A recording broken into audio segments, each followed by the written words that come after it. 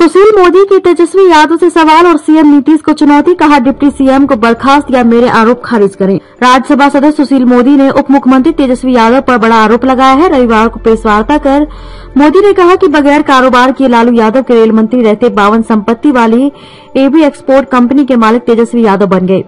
AB export ने आज तक न तो कोई व्यापार किया और न ही इसका कोई टर्नओवर है और न ही कोई कर्मचारी है। इस कंपनी ने केवल एक काम किया है, तेजस्वी के लिए संपत्ति खरीदी।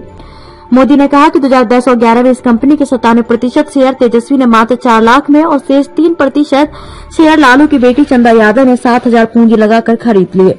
इससे पहले शुरू में तेजस्वी यादव तेज प्रताप यादव, चंदा यादव एवं रागिनी लालू इस कंपनी के निदेशक थे। वर्तमान में रागिनी लालू एवं लालू के विश्वस्त बड़हरिया, सिवान निवासी सरी कलबारी भी इस कंपनी के निदेशक हैं।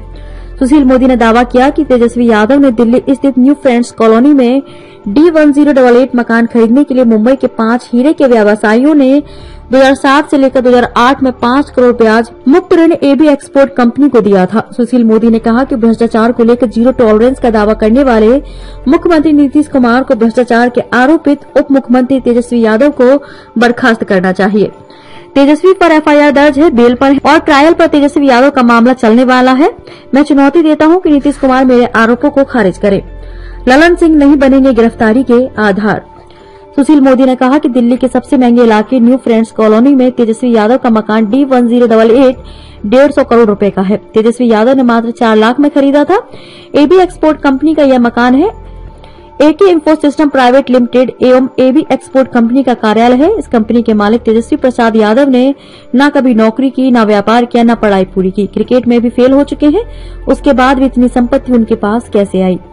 तेजस्वी से सुशील मोदी का सवाल। आखिर मुंबई के पाँच हीरे के व्यापारियों ने 2007 और 8 में एबी एक्सपोर्ट को बिना ब्याज कर्ज क्यों दिया? आज तक एबी एक्सपोर्ट द्वारा ना तो पाँच करोड़ मूलधन और न ही ब्याज मत का एक पैसा क्यों नहीं भुगतान किया गया? उनतीस वर्ष की उम्र में Keshav Tejashwi Yadav AB export AK info system जैसी कंपनियाँ तथा अन्य माध्यम से बावन से ज़्यादा संपत्ति के मालिक बन बैठे हैं।